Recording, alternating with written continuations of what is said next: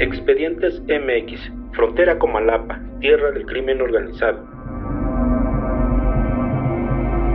Frontera Comalapa es el espejo de lo que pasa en México. Se trata de un municipio que conecta la frontera de Guatemala, la Mesilla, con la Sierra Madre de Chiapas. Esta región es la disputa del crimen organizado por territorios, rutas de migrantes y trasiego de drogas. Frontera Comalapa, hasta 2015, podría presumir de seguridad, tranquilidad Paz. Es el centro comercial y de flujos monetarios en la región.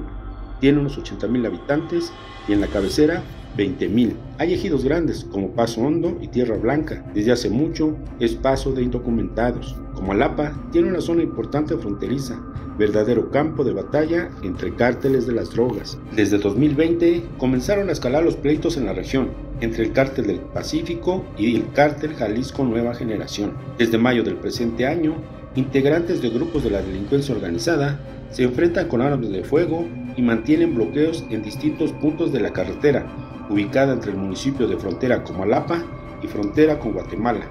Agrupaciones civiles han alertado cómo es grave lo que ocurre en los municipios de frontera Comalapa, Chimopucelo, La Trinitaria y Amatenango de la frontera. Comalapa es el reflejo de lo que ocurre en el país.